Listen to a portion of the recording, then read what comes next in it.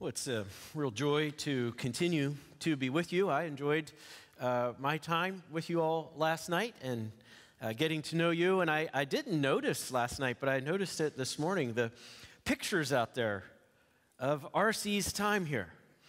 And uh, I don't know, judging by the big smile on his face, I just I don't think he really enjoyed himself much um, while he was with you folks. No, I, you could tell uh, he was happy, and I it might have something to do with Harry Reeder as well and uh, his friend Harry, but I think also. Uh, what uh, my son, who's with me, and uh, we both picked up on just what not only beautiful facilities you have here, but what just delightful and warm and gracious uh, folks you are. So it's been a joy, and I appreciate your hospitality, uh, Southern hospitality. I love it. And now we will go to the text. And uh, that text, of course, is the one where this hymn uh, that we just sang together uh, has for us as uh, as R.C. would say, not, not just twice repeated, but thrice repeated uh, our holy God. So, to set the stage for us, it is Isaiah chapter 6 and uh, verses uh, 1 to 7. Uh, mentioned this last night if you were with us that when R.C. taught homiletics at seminary, he would teach his students to find the drama in the text and then preach the drama. Uh, Isaiah chapter 6, verses 1 to 7 has drama in every line. In the year that King Uzziah died, I saw the Lord sitting upon a throne high and lifted up, and the train of his robe filled the temple. Above him stood the seraphim. Each had six wings. With two he covered his face, and with two he covered his feet, and with two he flew. And one called to another and said, Holy, holy, holy is the Lord of hosts. The whole earth is full of his glory. And the foundations of the thresholds shook at the voice of him who called and the house was filled with smoke. And I said, Woe is me, for I am lost, for I am a man of unclean lips, and I dwell in the midst of a people of unclean lips. For mine eyes have seen the King, the Lord of hosts. Then one of the seraphim flew to me, having in his hand a burning coal that he had taken with tongs from the altar. And he touched my mouth and said, Behold, uh, this has touched your lips. Your guilt is taken away, and your sin atoned for. The holiness of God. I brought along my well dog eared copy. And uh, in the early pages, at uh, pages 14 and 15 of my copy, RC is speaking of the holiness of God as the, as the central idea.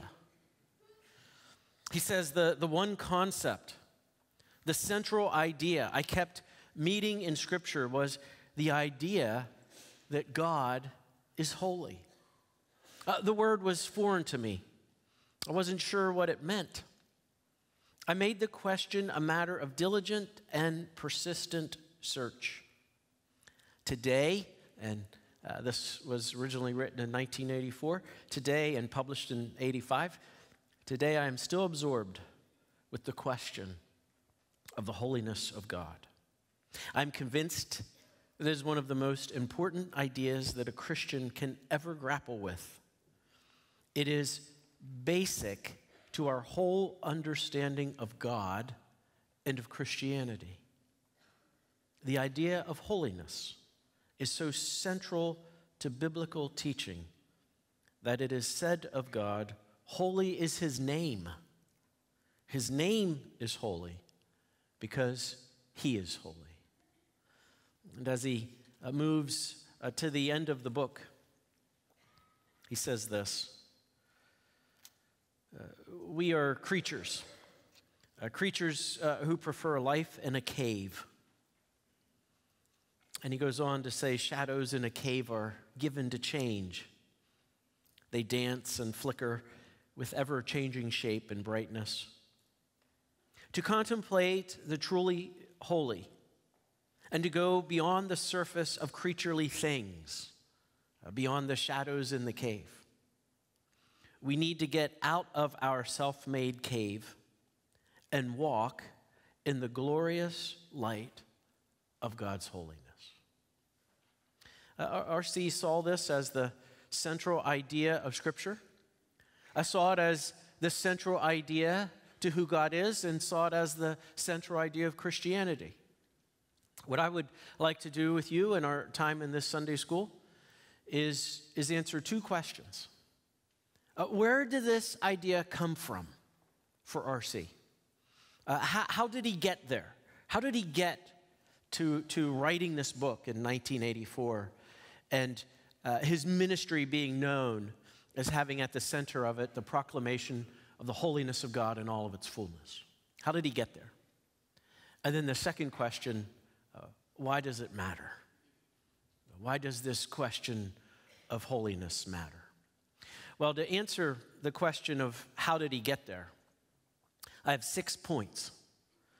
I, I normally try to have five points because, after all, we're all Calvinists. But I, but I have six points because I'm actually a six point Calvinist. And you know what the sixth point is, right?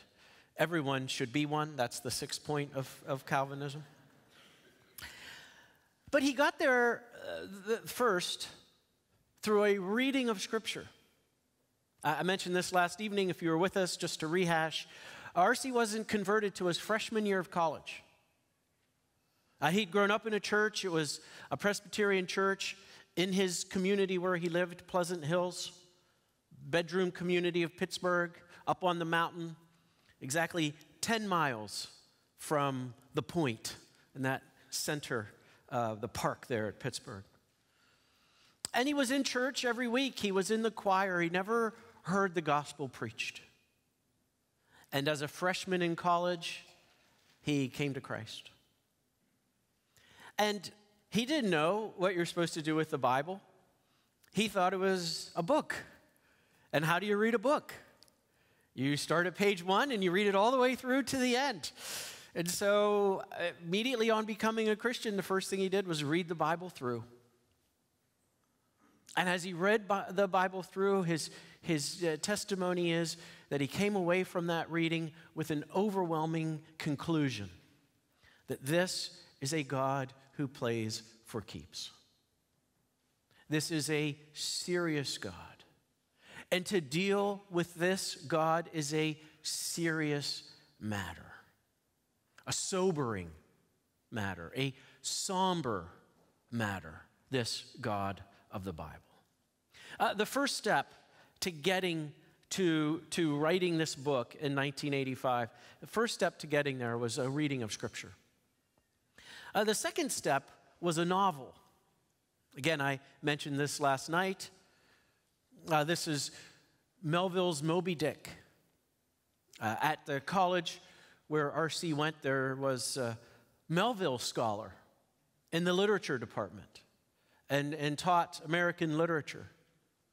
And uh, R.C. had him for an American lit class and fell in love with this novel uh, what R.C. would maintain throughout his entire life, his favorite novel, uh, Melville's Moby Dick. His uh, love of Moby Dick and his love of philosophy uh, led him to write his, his bachelor's thesis entitled The Existential Implications of Herman Melville's Moby Dick. You know, this guy was going to go on to be a philosopher theologian with a title like that. And he loved everything about the book. He loved the drama of the book. He loved the first line of the book Call me Ishmael. And we know well, where do we first meet Ishmael? It's uh, before he's even born. And um, Hagar, and, and, and what an interesting chapter, isn't it? And um, there's enough guilt to go around and blame to go around between all three of those characters Abraham and Sarah and Hagar. And the result of that is Hagar flees and she's in a desert in the wilderness of Shur, suspended uh, between her homeland of Egypt and, and Abraham's encampment. And she's by a well, and God visits her. And we have coming out of that this, this beautiful expression that our God is the God who sees. And that's where we first meet Ishmael in the pages of Scripture. And here's the first line of Melville's novel. Uh, one of the chapters, R.C.'s favorite chapter, is The Whiteness of the Whale. Uh, my favorite chapter is Shark Attack. But his was Whiteness of the Whale. And uh, this interesting study. If you read Moby Dick, you know that Melville will break from the narrative and, and give uh, excursions on cetology. C E T, cetology. And we all know what cetology is it's the study of whales, cetology. And so, in the midst of this dramatic novel, you have these excursions, almost scientific. And so it is with the whiteness of the whale, and it represents pure transcendence, sheer luminosity. Uh, doesn't Paul, when he's writing to Timothy, describe God as dwelling in inaccessible light, overwhelming purity. And this, this whale, the, the main character in one sense of the novel, is the representation of God, a metaphor for God. And here's Ahab, a metaphor for what was quickly emerging in the 19th century, a, a, an almost proto secularism of, of somehow uh, controlling God and confining God and circumscribing God and therefore conquering God. And so Ahab did it by charting the whale and predicting its movements and knowing precisely where it would be and when it would be most vulnerable. And at that point, he would, he would launch his attack. Such, such hubris. And it undoes him and it undoes his crew. And so, R.C. in his thesis writes the line that Ahab represents the shallow religious views of humankind as if we could somehow lasso the infinite, eternal God and, and bring him down uh, to be on our terms.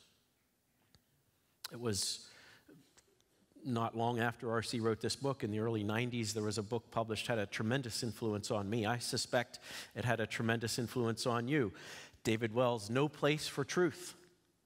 And that kicked off a series of books that are just absolutely phenomenal and in their incisive analysis of, of culture and the church and uh, how we as a church and Christians and theologians must respond.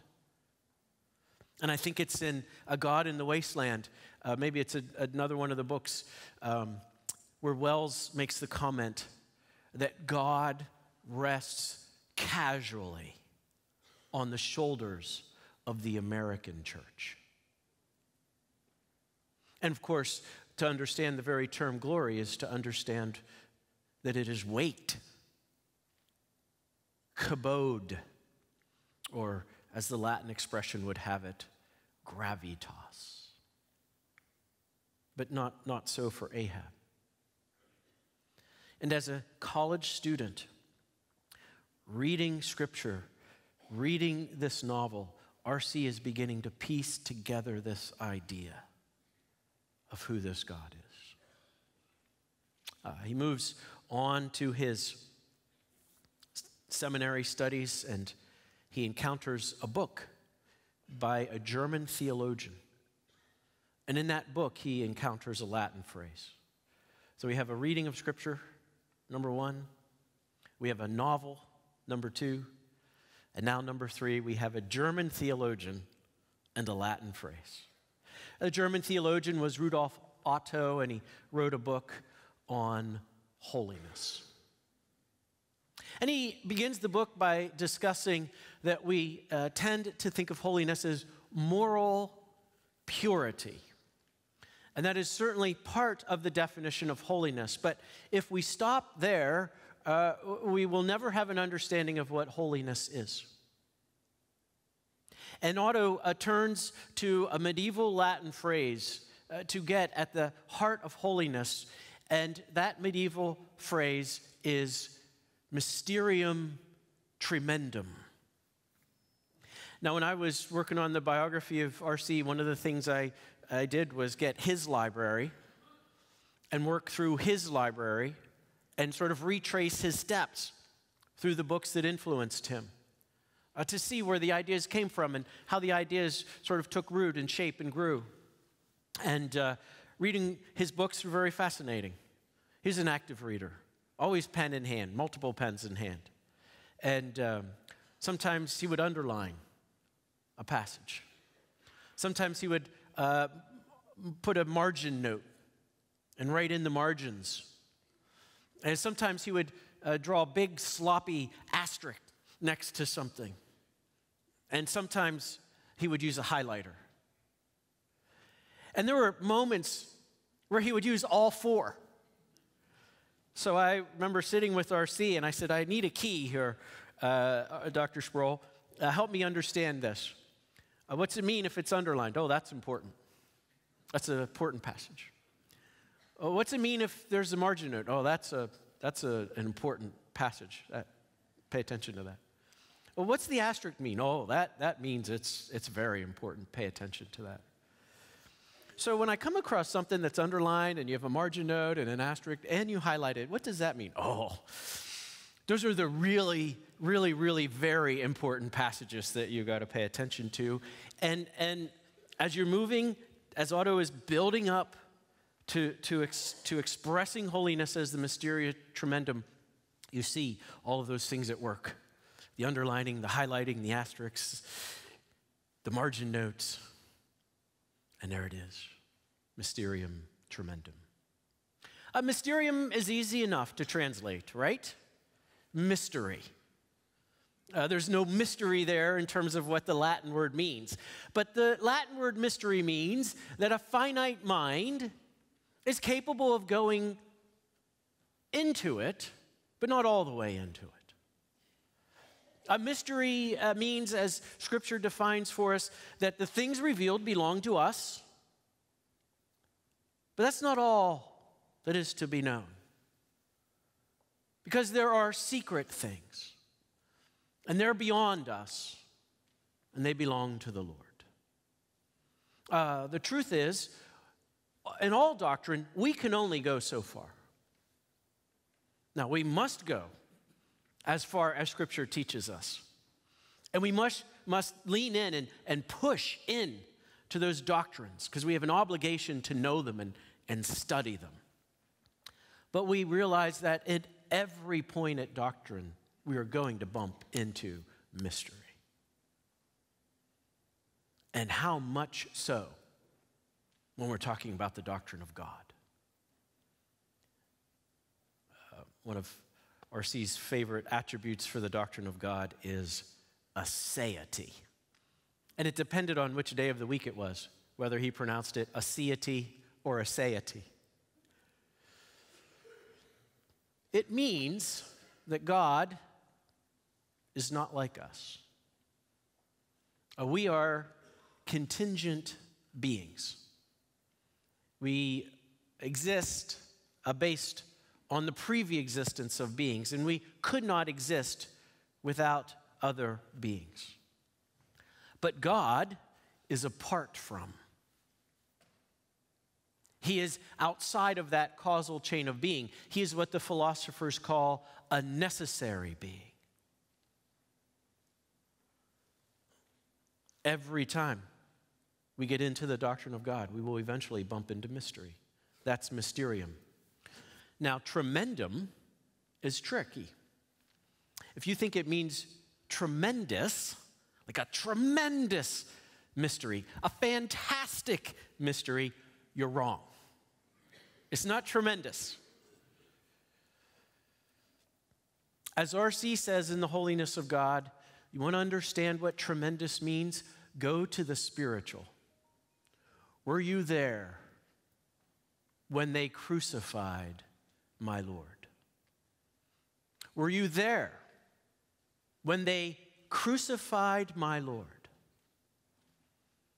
And then the moan. Oh, sometimes it causes me to tremble. Tremble. Tremble. That's the mysterium tremendum. It's not tremendous mystery. It's a mystery that makes us give out at our knees. It's a mystery that causes us to shake like a leaf. It's a mystery that causes us to tremble before the holiness of God. Do not venture into that lightly. Venture into that seriously. The tr- mysterium tremendum. Now, what does the uh, Bible teach us? But to fear God. To fear God. Unless we think this is an Old Testament doctrine and we can think differently as New Testament Christians, let's all go back and read Hebrews 12 together. And let's talk about that mountain. That mountain that you, you can't even touch, let alone ascend. And let's talk about this living God who is a consuming fire, who again dwells in inaccessible light. Mysterium tremendum. So we have a, a reading of Scripture, we have a novel, we have a German theologian and a Latin phrase. And fifthly, we have another Latin phrase. Uh, this comes uh, from the classical tradition. It, it comes uh, from uh, the, the early church fathers, and it, it comes into uh, Thomas Aquinas, and then it comes into the reformers, and it comes into the uh, post Reformation scholastics, and then it comes into the Princetonian, Princetonians. It's, it's really there at the beginning of pretty much all of systematic theology in that Reformed classical tradition. And the Latin expression is this ens perfectissimus. Now, ens is being. Perfectissimus, simple enough. We might be tempted to translate it perfect being. But that would be wrong.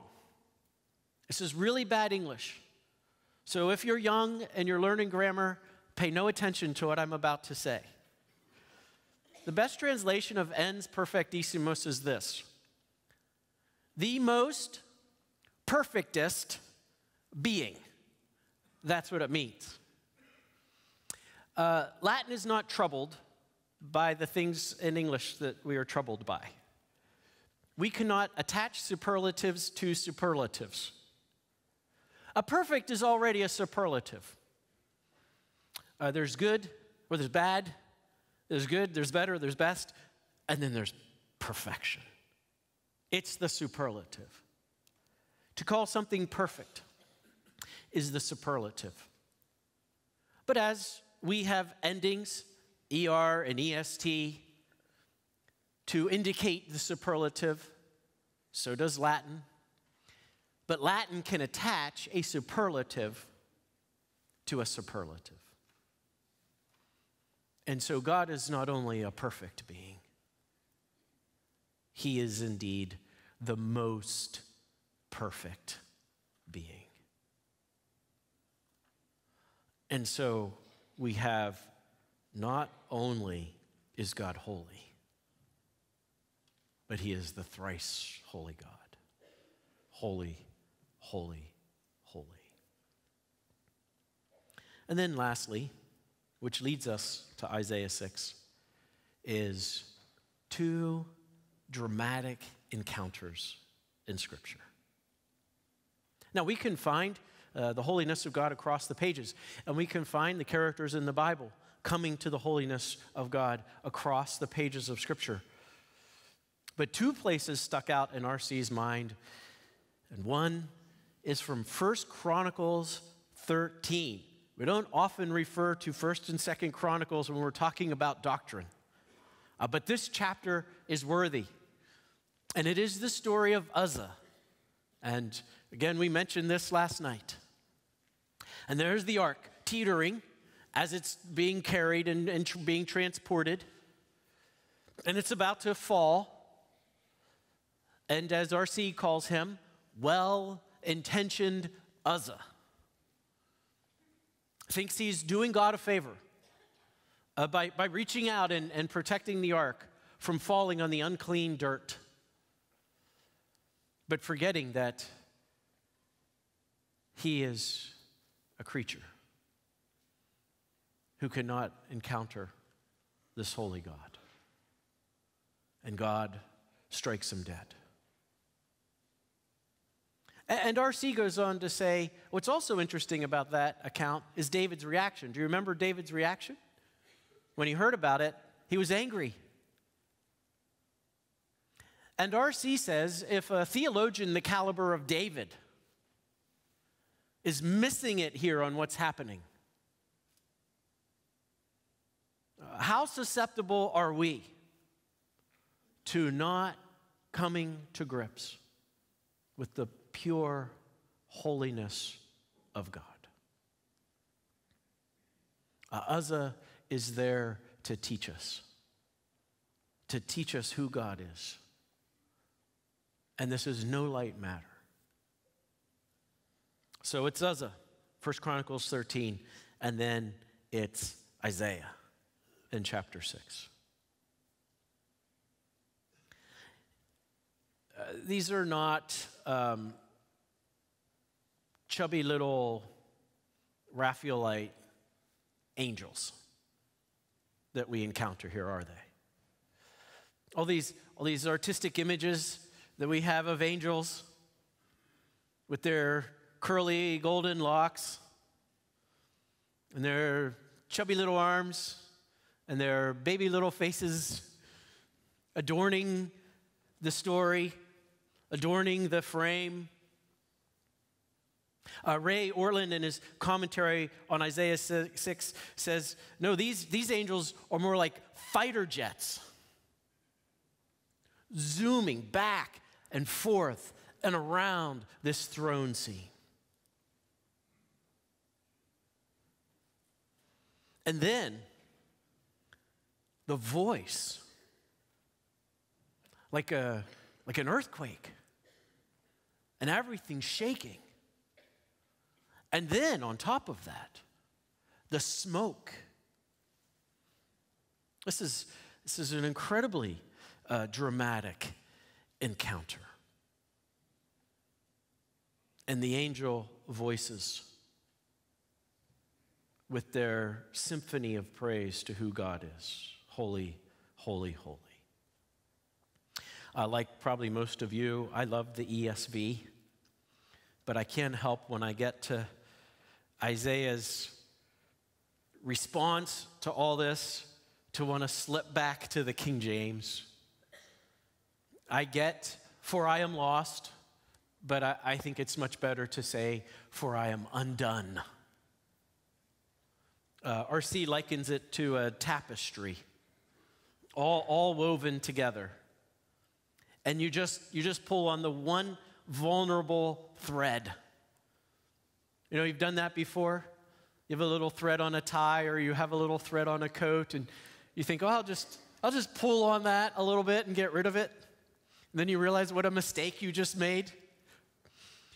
And, and there it is, that vulnerable thread of Isaiah. And what is that vulnerable thread? Well, he's a, he's a fallen human being. That's the thread. He's, he's, he's in Adam. He's, he's a man in the presence of a holy God. That's the, that's the, that's the vulnerable thread. And you just put a little tug on it, just a little pull, and the whole thing just is a pile of thread. And Isaiah is undone. R.C. would say, God is holy and man is not. A God is holy and man is sinful. And now there's a third truth. Therefore, we need a substitute. And, and here comes this fighter jet zooming in with the six wings and, and takes a coal from the altar and signifying uh, the necessity of purifying sin to be in the presence of a holy God. And Isaiah is atoned. And so he can not only stand in the presence of God, but he can obey God. And he takes up his commission to be Israel's 11th hour prophet before they are taken into captivity. So it was a, how did he get there? It was a, a reading of scripture, it was a novel, a German theologian in a Latin phrase, another Latin phrase, and then to take him home, it's back to scripture and these dramatic encounters. Um, I mentioned this last night, but Holiness of God, the book was published in 85. R.C. was treating it long before then. He first heard a sermon on Isaiah chapter 6 by John Guest. Have any of you ever heard John Guest on the radio, the British preacher, a suburb of Pittsburgh? R.C. was friends with John Guest, remained friends uh, with John Guest uh, up until uh, his death, R.C.'s death. Uh, R.C. was inspired by that to preach a sermon on the holiness of God, and then 1970 uh, did his first series on it. It was at a Young Life conference in Saranac Lake. Uh, then at the study center, he would teach on it often. And then in 73, 74, when they started doing video cassette teaching series, uh, Holiness of God wasn't the first, it was the third. And he's got these cool uh, aviator sunglasses on. And he is so right out of the 70s. Uh, in front of this fireplace with these circular glass panels and a wooden cross that was made from wood there on the study center campus on the mantle, uh, proclaiming the holiness of God.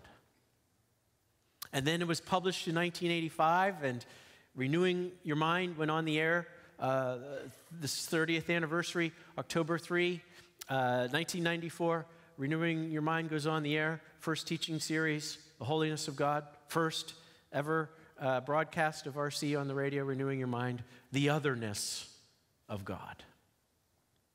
Now back to that German theologian and his book. That's the holiness of God, that's where it came from. Why does it matter? Uh, let me read two sections from the holiness uh, book. This is early on again, chapter 1, at the end of chapter 1. He says, How we understand the person and character of God the Father affects every aspect of our lives. It affects far more than what we normally call the religious aspects of our lives. If God is the creator of the entire universe, then it must follow that He is the Lord of the whole universe. No part of this world is outside of His Lordship. That means no part of my life must be outside of His Lordship. His holy character has something to say about economics, politics, athletics, romance, everything with which we are involved. He then gets us to the end of his book and says similarly Christianity is not about involvement with religious experience as a tangent it involves a meeting with the Holy God who forms the center or the core of human existence. The Christian faith is theocentric, God is at the center. Uh, God is not at the edge of Christians' lives, but He's at the very center. God defines our entire life and our worldview. Uh, the answer, in short, is it the holiness of God? Uh, why does it matter? Uh, because everything is at stake, because everything relates to it. He ended up giving uh, Ligonier Ministries a very interesting mission statement. Uh, your pastor referenced being at RC's funeral in 2017. And uh, there were a number of close friends of RC's and authors and folks he shared platforms with at conferences that uh, came down uh, for the funeral. And uh, the night before the funeral, we all gathered uh, together and we invited a number of these folks just to spend some time just remembering RC and, and sharing our stories. And John Piper was there and he um, uh, made the comment I don't know of any Christian organization's mission statement that has the word holiness in it. And uh, Ligonier Ministries exists to proclaim the holiness of God in all of its fullness to as many people as possible.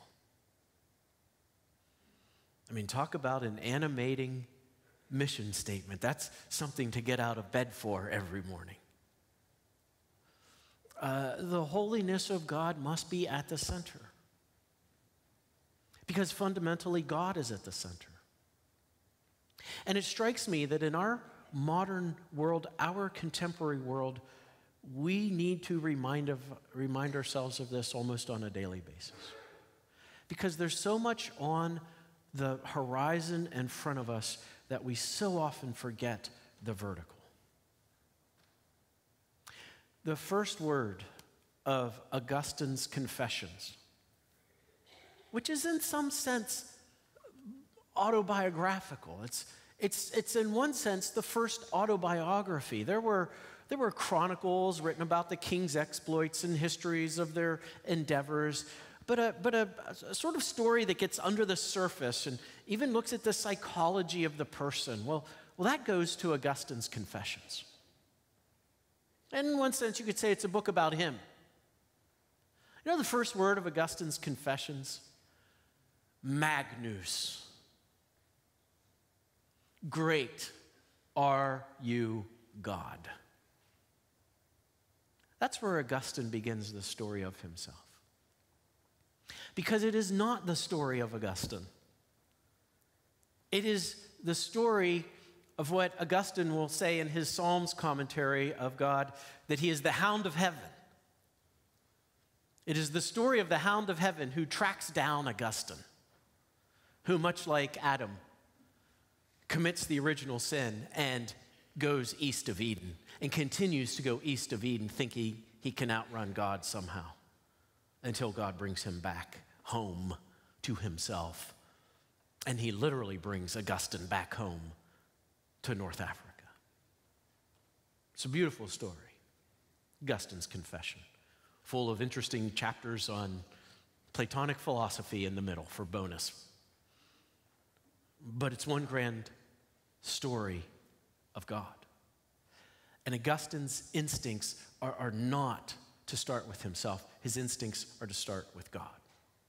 There was a medieval theologian, uh, Anselm of Canterbury, who uh, published uh, not only a wonderful the- uh, theological book on uh, the incarnation, why the God man, but he also published a significant philosophy book that gets um, is in all the readers uh, of philosophy gets introduced into uh, introduction to philosophy classes and it's his book proslogion.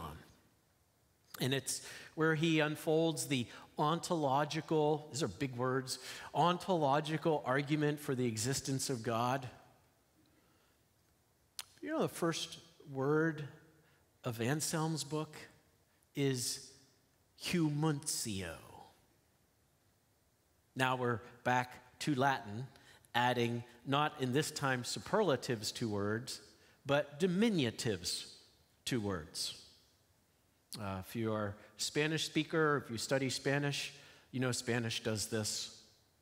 There's uh, perro, which is the word for dog, but then there is perrotito, little dog.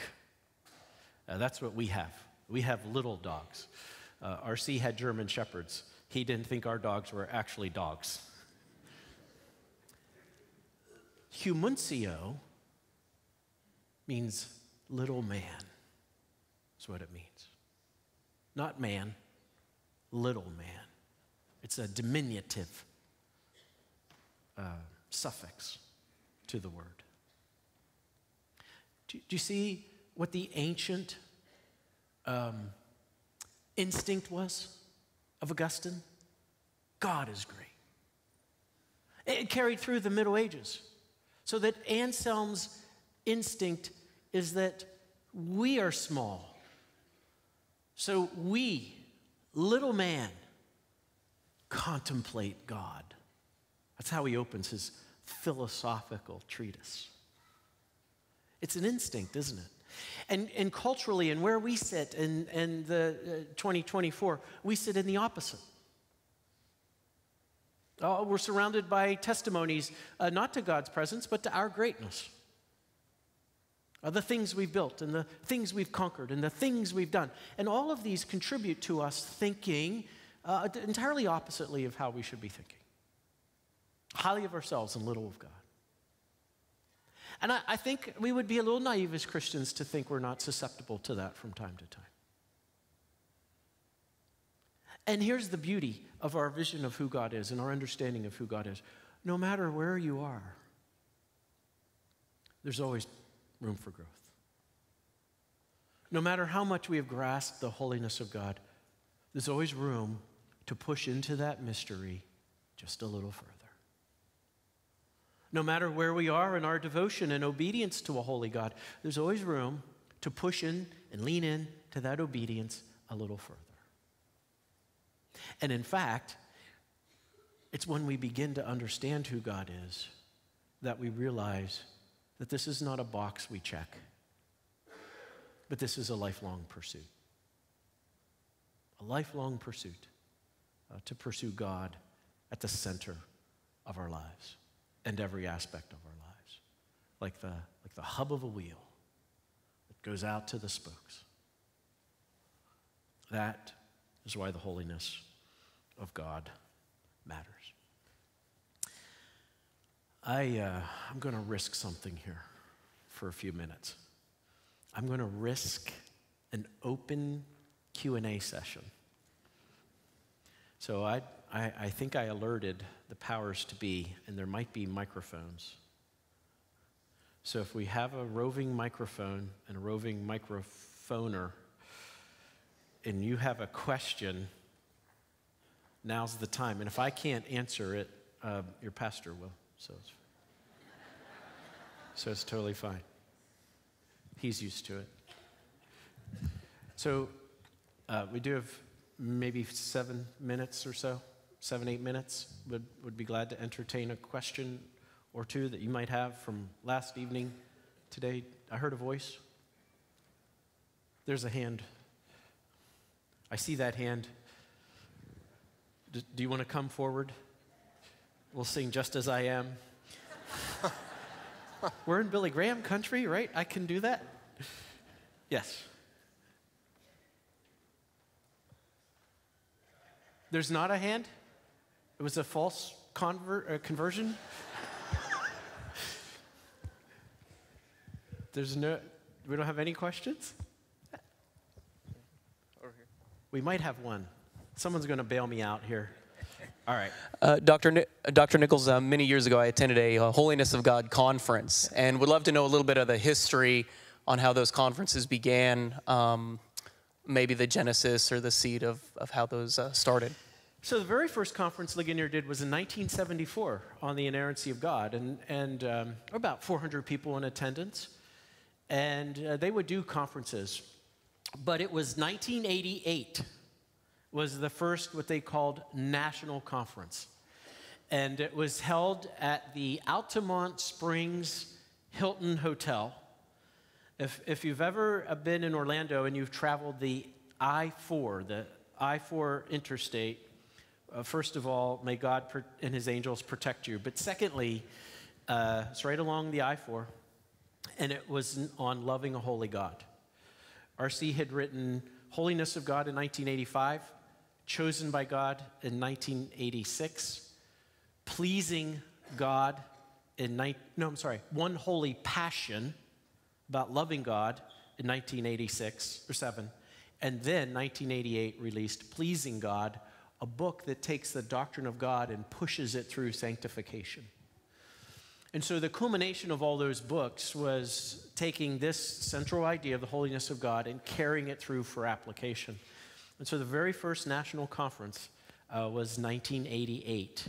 Uh, Ligonier's been holding them ever since, and regional conferences. So every year in the spring, we hold our national conference uh, down in Orlando. Uh, we were talking last night that um, we, we try to have warm weather, but poor uh, Dr. DeYoung brings his whole family down uh, for it. This was back in 2016. Is that what we thought year it was? And um, just for him and his whole family to enjoy Central Florida, I think we had, what, 30 degree weather uh, for the entire time that he was down there. But uh, yeah, we do our national conference. And I mean, if you want to know what Ligonier does, basically we do three things we broadcast, we publish, and we gather. Uh, we, we broadcast um, radio, podcasts, we publish books, articles, the Tabletalk magazine, blog posts, and we gather together at conferences. And honestly, um, I think we need it as Christians. You know, we need that mutual encouragement um, as Christians. And then we gather specifically and in a very intense way uh, on the campus at uh, the place with Reformation Bible College. And I'll give a little plug. Amidst all those great books back there uh, from Westminster Books, where I used to work as a seminary student, I worked in the bookstore, um, is a little table with some Reformation Bible College stuff. So please take it because I don't want to. I don't want to lug it back home in the suitcase. Got time for another question? Ah, right down front here.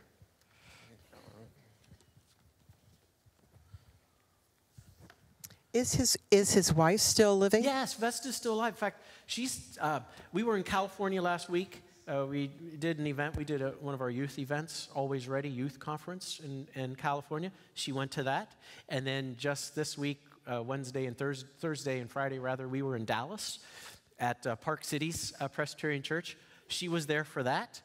Uh, she's you can't say a woman's age, but she's, she's an octogenarian. She's in the office every day.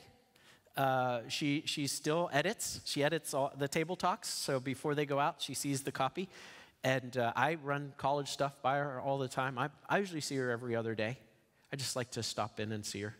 So I will go see her on Monday or on Tuesday when I get back and tell her about this. She, she's doing very well. Uh, she says, um, of course, she misses him, but uh, his theology taught her that, of course, this is all in the sovereignty of God, and she just rests in that. So, yeah, she's alive, she's doing very well.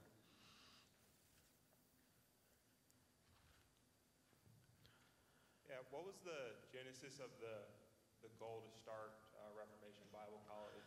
What was that process? Yeah, R.C. Um, he says, I, I don't even have to close my eyes, I can see it. And he's talking about the Reformation Wall in Geneva. And just past the Reformation Wall, there's the city wall. And then that's where the Geneva Academy was, which has grown into the University of Geneva, but it was founded by Calvin. And uh, Calvin started a college, the Geneva Academy. And Luther was a pastor, but he was also a college professor at the University of Wittenberg. And what R.C. recognized was that the reformers not only trained ministers, they established colleges. And he recognized the value of college.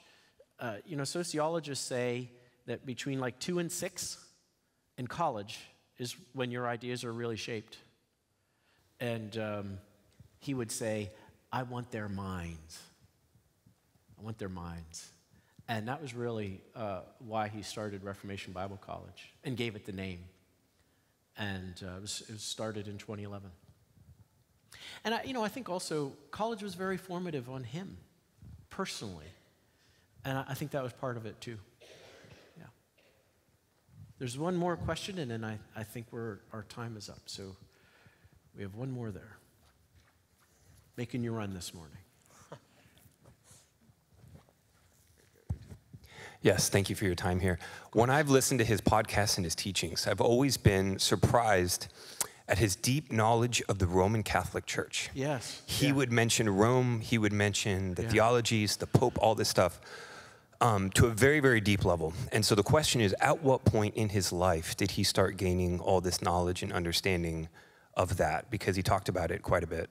So, two things. One is when he was in seminary, he had a, a, a basically a private class with John Gerstner on the Council of Trent. And I, I have his book. It's got the Trent uh, in Latin and then an English translation.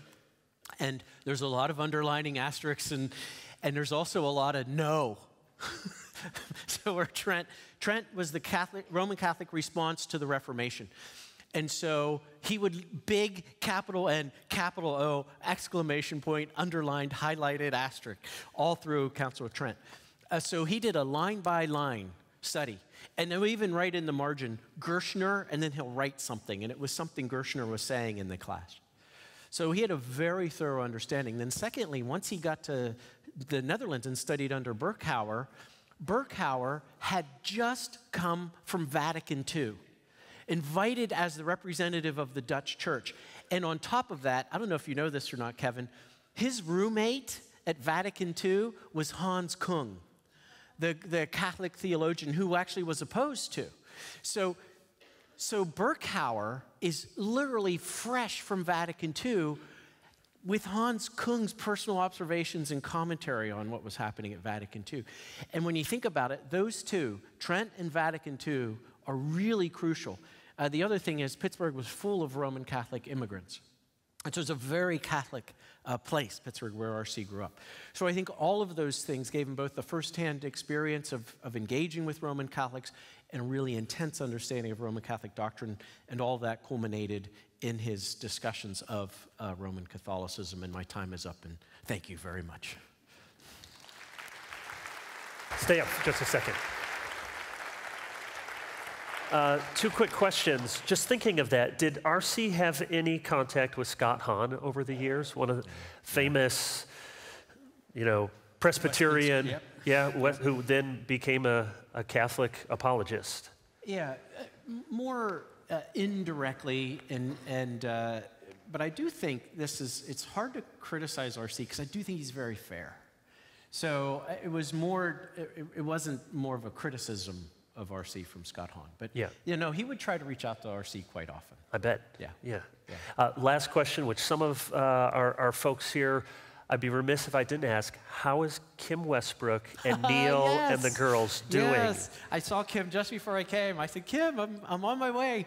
Uh, she, of course, uh, misses you, misses you all. She, she told me she remembers when you started Faithful. Yeah, yeah. And uh, she was right there. So Kim was my was Mike's assistant, and then mine, Yeah. and then something better down in Florida. So she's Well, now she's uh, Chris Larson's She's Chris executive Larson's- assistant at she's- Ligonier. Yeah, she's, it's wonderful to have Great. Kim and Neil. And uh, Neil, when he's not working at Ligonier, has his Jeep on the beach and he's surfing. So I'm- he's I'm a very he happy man uh, in Central Florida. So yeah, we love having the West So Coast. I'm sure they would loss, they would they would invite all of us to come and stay with them and go to the beach. I think they have a gonna, guest yeah, house. I think yeah, yeah, for sure sure, has for a guest sure. house. Yeah, go Uh, call, call him all down, right, thank you. Go uh, check out the the books, and of course we'll be back in worship at 10:45.